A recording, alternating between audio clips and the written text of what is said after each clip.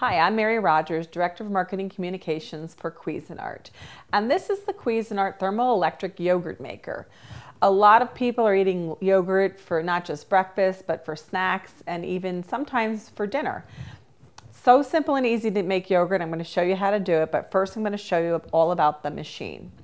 This is um, your lid, and inside there is um, a container, which is completely removable, which also has an integrated lid. And this is great when your yogurt's done because you don't need to transfer it into something else. You can take this and bring it right to your refrigerator. And what happens with this yogurt maker is it goes through several phases. First, you're going to mix some ingredients together. You're going to put it in the machine, and first it's going to ferment the yogurt. And then when it's done fermenting, what's going to happen is it's going to switch to a cool feature. And then it'll stay on the cool feature um, until you turn the machine off. I'm to turn it on by hitting the start button. And what's going to happen is it's on a standard setting for eight. And you can actually ferment for up to 24 hours. And it'll flash until you start the machine. And what will happen is it'll count down from that eight hours. And when the eight hours is up, it'll automatically switch to cool. And when it does that, this will have a C in that display. But how you can adjust the ferment time is either by pressing the minus button and you see how it went to cool and then it go one all the way up to 24. If you hold your finger on it, it'll advance automatically. And you'll see how that goes to 24. So I'm going to hit stop just so it resets itself. And you just hold your finger on it for about three seconds and it'll shut off. I'm going to put it on start. And I'm going to actually put it on eight hours because that's what we're going to do. And I'm going to show you how to put the mixture together to make yogurt from scratch. So first what we're going to do is we're going to add the milk. And it's important to um, thoroughly mix these ingredients together at the very beginning because it'll help give you a much better result at the end.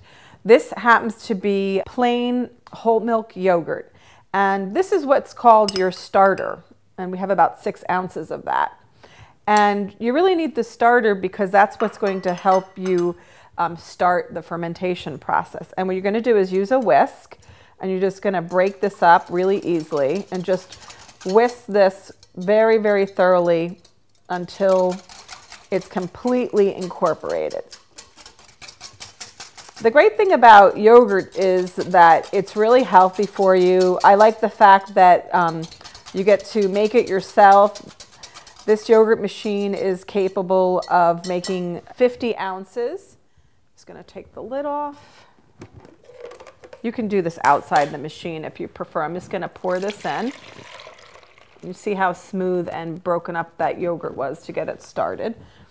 And um, I started to say that this container is 50 ounces, but just so you know that when you're done, you'll have um, more than six eight ounce servings of yogurt. So all we do is put the lid on, like I mentioned, put the, the top on, and we're gonna hit the start button. It's on, like I said, eight hours. When it's done going through the fermentation process, it will switch to cool. Like I mentioned, the C will be in the display, and then it'll stay on cool until you either turn it off or um, unplug it. And then all you do is at the end, remove the container and you can enjoy your yogurt right then.